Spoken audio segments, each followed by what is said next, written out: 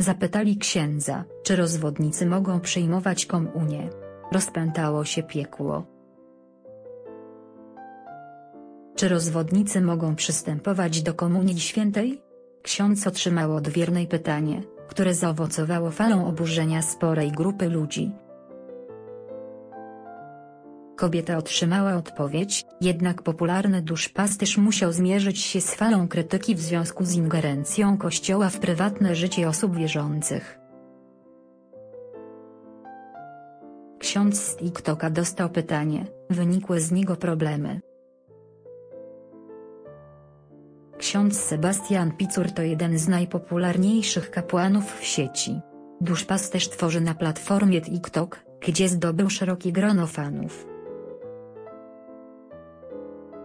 Jego filmy zostały polubione ponad 15 milionów razy, a samo konto obserwuje 748 tysięcy internautów. Niemniej nie wszystkie działania księdza Sebastiana Picura zyskują aprobatę fanów. Wszystko ze względu na otrzymane niedawno pytanie dotyczące kwestii rozwodników w kościele. Czy rozwodnik może przyjmować komunię świętą?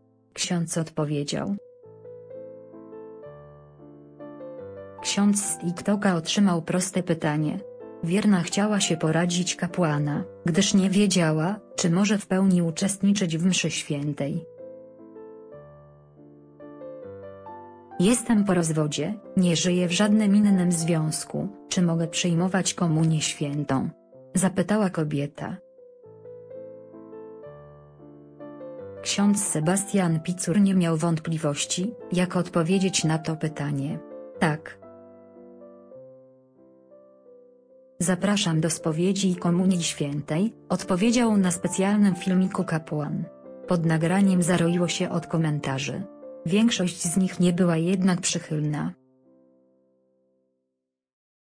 Na księdza ruszyła lawina krytyki, Internauci mają za złe księdzu to, że Kościół chce ingerować w to, co robią wierni poza świątynią. Ja tam nikogo nie pytam, czy mogę, czy nie. Po prostu z tego cyrku nie korzystam, czytamy w jednej z odpowiedzi. Ja jestem po ślubie cywilnym, jak powiedziałam, że przyjmuję komunię, ksiądz powiedział, że będę smażyć się w piekle, odpowiedziała kolejna osoba. Ja jestem dobrym człowiekiem, a nie mogłam zostać chrzestną, bo mam drugiego męża. Także mam uraz, bo to nie jest sprawiedliwe, pożaliła się internautka pod nagraniem księdza. W związku z wielkim oburzeniem ksiądz z TikToka odpowiedział na jeden z zarzutów. Internauta zadrwił z tego, że dobrze, że nie decydują, księża, przypis redakcji, jeszcze czy po rozwodzie mogę w ogóle wejść do kościoła.